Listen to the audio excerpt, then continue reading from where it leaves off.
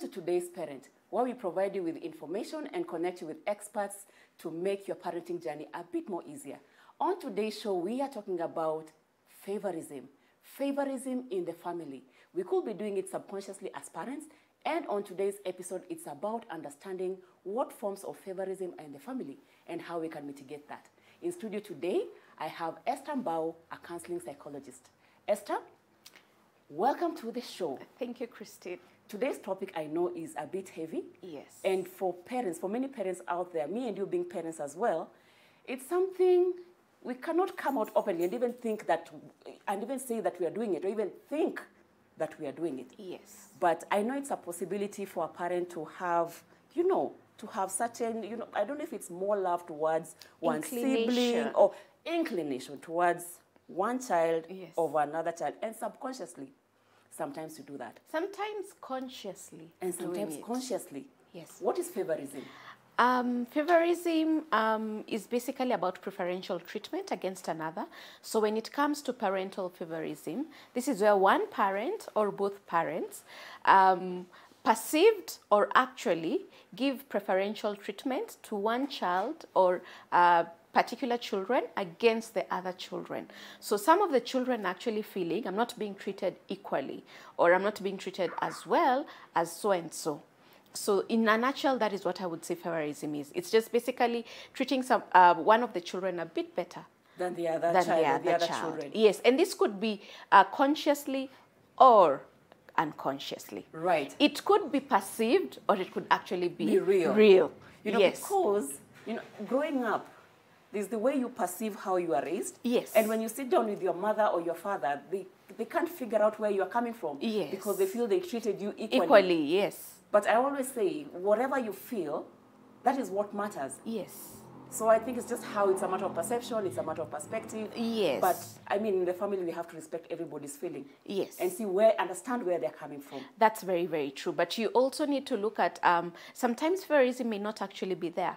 A five year old wants to be treated like the 15 year old who has some more freedom than the five year old. Of course. So the five year old is actually feeling my mom and dad are favoring my, my older sibling. But that's Right. not true. So that's why I said it could be perceived or it could be It real. could be real. Or you could find the five year old and maybe a seven year old.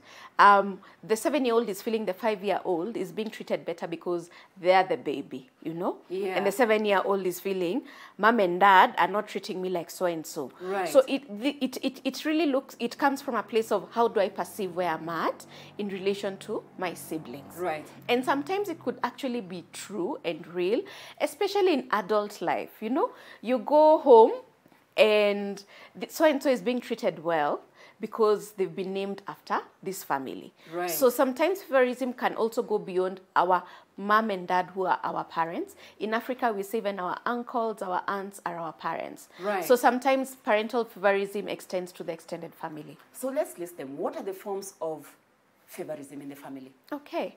Um, I'll give the forms as I give examples.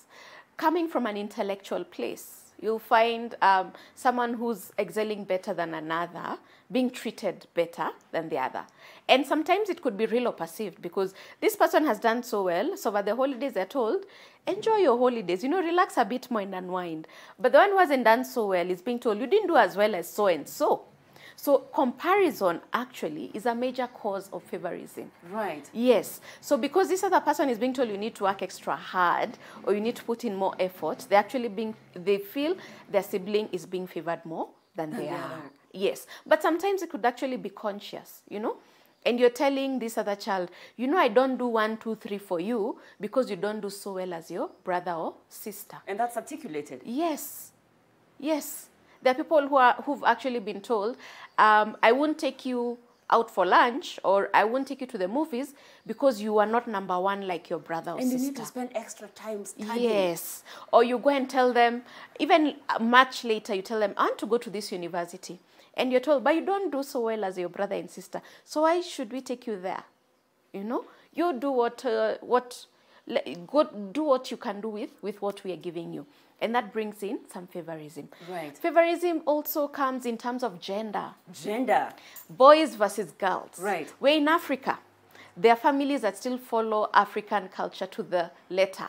There are cultures that say boys should never be seen in the kitchen and girls should always be in the kitchen and do all the house chores.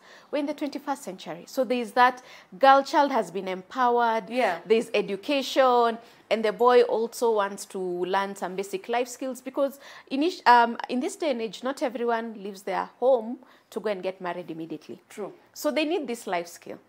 And because they're being told culture says boys do this and girls do this, Or boys it are brings taken to school yes, and girls are not taken to school. True. So the girls feel the boys are being favored at their expense. So gender can also be an issue. Also, looking at gender, we're in Africa. Sadly to say, there are people who still value boys more than girls. Girls. So, like you've said, the boys will be taken to school, the girls will be told, you get ready, you know, at some point you will leave us you need to be we'll, married. we'll actually exchange you for cows. So you actually start being treated unconsciously like the cow, you know? So sometimes just the gender factor can bring in favorism. Right. And it's because of the context we're in. So we need to understand that culture also plays a big role when it comes to favorism. Favorism can also come because of sibling position. Like I said, the firstborn the and the lastborn. order. Yes. The firstborn are usually treated stricter and harsher. I think the parents are usually trying to test their discipline and punishment levels with the firstborn. Right. But with the lastborn, you find they've relaxed, especially if it's like the fourth or fifth child. You know, they're like, we, we've used all our, our power, all our energy on the others. So you'll find the lastborn getting away with things the firstborn couldn't Never, get away got- with. never used to get away with. Yes, so the firstborn will say, "Hey, you're favoring this child. You know, you're spoiling this child. When if it, when it was me, you never used to do one, two, three, four. So that can also um, bring in some favorism. The lastborn could also feel, like I said earlier, the first firstborn is being treated better because they have more privileges given their age, Right. given um, what they are doing at that point in time. And this lastborn, naturally, they, they're trying to catch up with the first firstborn. That happens biologically. You know, they're like, oh, my, this is my brother. He's doing this. I also want to do it. But because of the age, they're not allowed to do that. So they end up feeling this favorism in the, in the family. The middle child also, not to be left behind, is wondering, where am I in all this? You know? Yeah. So it seems like this one is being given more attention, this one is being spoiled. Where am I at? So they try to fight for their space. Because there's a theory uh, that goes the first child, the firstborns, Yes. are highly favored. Yes. The lastborns get the most affection from the parents, Uh-huh. and the middle children are literally almost nowhere. And you see, sometimes favorism comes from nature. Just the way you've said the birth order. Sometimes it's also just a cause could be just nature. But if we are aware of it, we are able to control it or take it to a minimal level. But you cannot do away with favorism completely, given that it comes from someone's perception. Yes. You know, going into the next segment of what we want to do, I would want you to meet a very special guest of mine. Her name is Carol. Mm-hmm. And we want to look into the impact of favorism in the family. Mm. Because then people go through it as children, but we mm. never think about the impact it has Wow. in our adult lives. Yes. So this is something I want us to discuss. Mm-hmm. But first, we're going to hear her story, Yeah. and then we can take it up from there. Okay.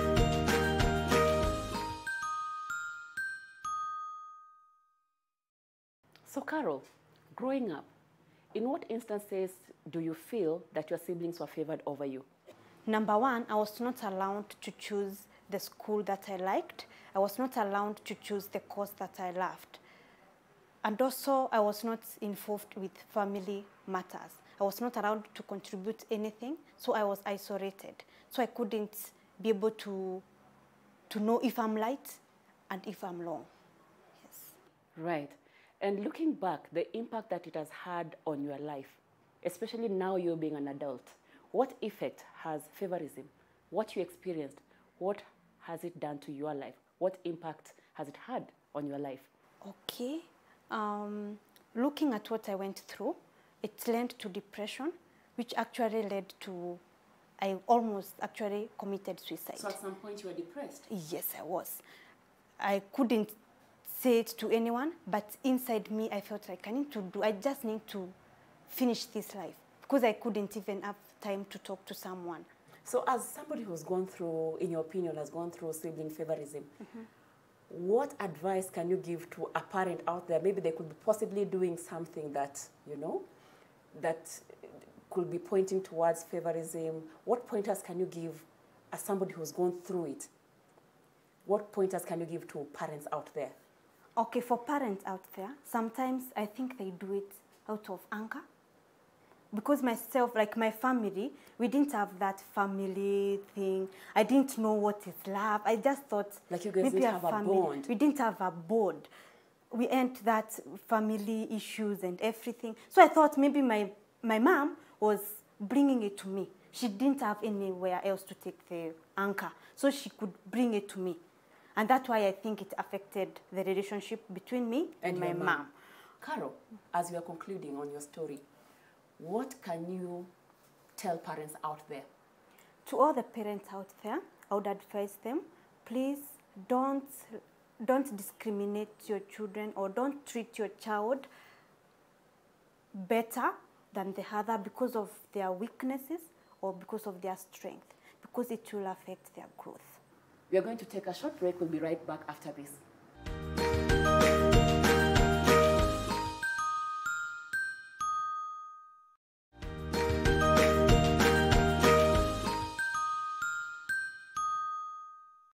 So, Esther, having listened to Carol's story, what do you think? Um, I think I've picked up two main pointers. One, favorism occurs when um, we, so as parents, we don't know it's taking place. So the child is being affected. They're feeling um, they're not being treated equally, and this you can see it has a long long-term effect. Number two, as parents, and we're in Africa, we like to do this. We like to dress our kids the same. We like to take them to the same school. We like them to do the same things. Yet these are two different personalities. So we need to parent our children as they are, not as a group, but as individuals. And this will actually um, lessen the favorism that we um, are, are, um, affected consciously and um, unconsciously. Right. Yeah. If I was a parent, I'm just sitting here thinking for the parents, the older parents who are at, at home who are listening to us, when they listen to the stories from their children, who then say, Dad, Mom, I feel that, you know, you favored my brother, my sister over me. Yeah. And they can't understand where, where you are coming from. True. Because in their opinion, they feel that they did their best. Yes. And then coming from possibly their own backgrounds Yes. of how they were raised, how they look at things, because then it was about parenting, was about food, shelter. You know, I give you the basic needs. So I don't know if there's any way you can speak up for the parents as well before we bring in the consequences of favorism. Uh, like I keep saying, parents never go to school to become parents. We actually pick a lot from our own uh, families of origin, how we were parented, and then along the way, we pick up our own lessons uh, um, as life is happening. Right. So, as parents, we do our best, and I don't want any parent to feel guilty that they've not done their best. You have actually done your best. But now that you know better, please do better. So don't feel bad about what you have been doing before or what has happened before. Right. The other thing, we're in a culture where in Africa, parents are always right. You know, in Africa, you cannot say your parent does you wrong. No, they are the right and they are the law. Yes. but they're not perfect. They're just parents, they're human. So it is how we approach it and how we communicate it to them that really matters because you can say the same thing and it will be accepted or not accepted. It's just the mode and how you did it and when you did it. So we need to be very deliberate about how we communicate some of the pitfalls that happen as our parents are parenting us. Would you advise if I'm somebody who feels that my siblings were favored over me, if I can approach, let me use the word approach my parents and have a conversation and tell them, look, 10, 15, 34, 62 years ago, this is what you did, mm. and this is what you made me feel. I, I don't want to use the word confrontation, Yes. but I don't know what your take is on that. If you want to get closure, you know, just let it out of your system. Yes. Would you advise for somebody to have a conversation with their parent? Yes, um, I, I would say yes and no. It depends with the circumstances. It depends with who your parents are. Because let's be very honest, there are parents you can still never go back to. Like, but that doesn't. mean. uh -huh. After everything I did, I did for, for you, you. you know, how can you be so ungrateful? Do you know how much I saved to take you to school? Yes, but there's a parent who will mellow and be like, kindly, kindly just share what you know how it was for me being your parent. Right. So you need to understand your parent. You need to understand their personality. You need to understand their temperaments. You need to understand the context in which they're parenting you from. You know, we're in Africa. Sometimes things are so tough. You don't want to be that parent, but because life is being so tough, so you just end up being that sort of parent. So for you to get closure, you, you don't necessarily have to go to your parents, but it does help but you need to be careful. Will this mend our relationship? Now that they're getting older and I'm getting older, and we're also having generations coming after us, Right. after us, will this bring healing or, will it bring adrift? Right. So I won't put a blanket yes or no. But you also need to know if you don't bring closure to it, it has impact on you. Here and now, even as you're watching this, it has an impact on you. And it is affecting you whether you know it or you don't know it. But we usually say in counseling and in psychology, our unconscious is very powerful, that it drives some of the things we do every day that we are not aware of. You know, sometimes you, you do something and you're like, why do I always keep doing what I'm doing? because the, this uh, and what happened to you a while back is actually a driving force. Right. So maybe we need to look at the impact We and to look, at some the of the impact, things. Yeah, For sure. Yeah. So let's go list and list them one by one. Yeah. As a professional, as a counseling psychologist, what's the effect of favorism Okay. in the family? I look at it first in three tiers. It first has an impact on the person who feels they've, they've, been, um, they've not been treated um, equally or right or respected. So it has an impact on the individual, it has an impact on the immediate family, it has an impact on the extended family, and it has an impact on generations to come. Right. It also has an impact on this person and in the society generally and with their other relationships. So, with this person as an individual, the self esteem is affected. So definitely self-esteem issues. Self-esteem issues because you're wondering, I don't, or I'm not good enough. That's why my parents never treated me like so and so. Um, I never measure up because I wasn't treated as so and so. Yeah. So your self-esteem, you're always questioning your worth, and you're always questioning your own abilities.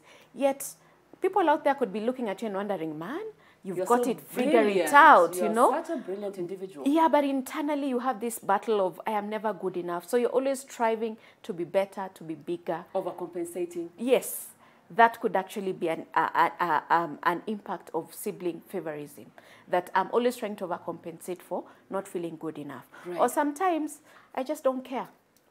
I'm never good enough, so I'll never What's the do point it. of trying? Yeah, what's the point of trying to be the best person I could be? You know, my parents thought I'm not good enough, so will the world ever think I'm good enough? No. So self-esteem has a big impact on who you are in your day-to-day life, Right. in your dreams, in your goals, in the achievements, in the person you can actually become. Apart from self-esteem, there's a general feeling of rejection because if my parents weren't treating me like others, you know, I was rejected. So you're always feeling rejected. And even when you go to places people are accepting you, you've already rejected yourself. So finding acceptance and accepting that acceptance can be a tall order for you. Right. So this can also lead to depression because from the uh, from the act itself, you're angry. You know, first you're angry. You're like, why am I being treated like this? Yeah. So there's a general feeling of anger, and if you don't deal with the anger, it goes to resentment and bitterness and unforgiveness and all this negative energy What around you. live. You know, it's so sad that as a person, the impact of you feeling your someone was being favored over you can carry you through life, and it actually limits you and holds you back from being an amazing person, or it makes you be super amazing because you're trying to compensate. Wow. To the family, there's the uh, cutting links because you're feeling this person is more important than the, than me. You the relationship with this person is affected. Your relationship with your parents because you feel they didn't protect you is Is affected. affected. Your relationship with your other siblings because why are they not also fighting for me? Why are they not speaking up? Or they're also, you know, or are they cahoots with my parents and with my sibling? Right. So the family tie, where you should go back to even later in life and you know I'm in a safe zone. you don't have that. for you. So even your own foundation as a person in life has been shaken. Shaky. Yeah, so your relationship with your family is tremendously affected. And that's why if you can go back and have this conversation Right. and people listen to understand, not listen to respond, it can bring tremendous healing. And this healing, if it doesn't take place, can affect generations. Because when you have children, you're not so comfortable taking them home or taking them to your siblings to hang out with their cousins. You can imagine that energy in so, that family. Yeah, so gen- for generations, people are hurting because of one act or uh, something that happened that you didn't resolve as a family or even as an individual. If you're not able to deal with it with the family, you can go through a process of just letting go. Saying, you know what, this thing won't hold me, it won't tie me down for life. So deal with it as an individual. deal with it as an individual. Forgive, forgive, forgive, and yes. let it go. Yes, and you can actually be the one to let it go and start building the bridges in your family. Be the one who says, you know what, it happened to me, but I'll also be the source of healing in this family. How wonderful that would be. Yes. So you can deal with that as well. Relationships with other people, like we've said, your foundation is shaky, your self esteem is down. So let's talk about the intimate relationship. Someone is trying to court you into maybe marriage. They are telling you you're beautiful and you're thinking, hmm, beautiful where? it, What are you seeing? Yeah. You know, my foundation is shaky. affirmed. Yes, you are never affirmed. Or even if you are affirmed, it was um, washed away by what happened. So this person is trying to build a relationship with you. Your, your primary relationships are an issue. This will definitely be an issue. All those things you're carrying from, from that relationship, you carry to other relationships. Right. So you can actually see it has an effect, even a ripple effect, so to say, in your other relationships. So you need to be very careful that if you're feeling um, at some point there was a parental favorism, how do I start dealing with it? How do I start moving away from that? Sometimes we actually say you've been living in that act that maybe 20 years have happened. You've been the walking dead. Life Holding has happened. That one thing that happens yes to you, based on your percep- perception, so many beautiful totally wrong. things yeah so many beautiful things have happened in your life but you can't see them because you've been stuck back there in your past you need to let go of that past come to the present and start creating a future that you want How do you let go? wow that's a process for and that's an, another whole talk show Conversation, conversation right. of how do you let go but just first acknowledging it's very powerful. And you may not acknowledge it to that person but acknowledging it to yourself and also acknowledging it in a safe space where you can acknowledge the feelings and let them out. I like that carol said she feels relief because she's talked about it. Just talking about it starts the healing process. But beyond that we look at okay so this person did this. How will we let go? So there are different techniques we use in, in, in psychology and Right. in therapy to help you start letting go and to move forward. So this is something if somebody has gone through it is something that you can seek professional help and see just how to find, you know, closure and all that. Yes, you can seek professional help. There are those who also feel professional help is not for them. Yep. It is still also okay. Yeah. Find your way, but find the right healing. Please, if you don't find the right healing, that's why we go into depression. That's why we go into drugs and substance abuse.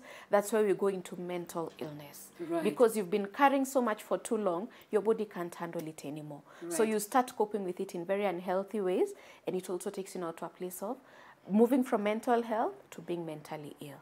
So Esther, as you're winding up, as a generation, as a generation of um, the new parents that we are, Yes. having gone through, you know, our parents have done what they've done, Yes. and of course they try their very best. Issues of the past, we find a way to, you know, just let them go. Yeah. You said it very well that when we know better, we, We can do do, better. better, yes. So that now that we know better, Yes.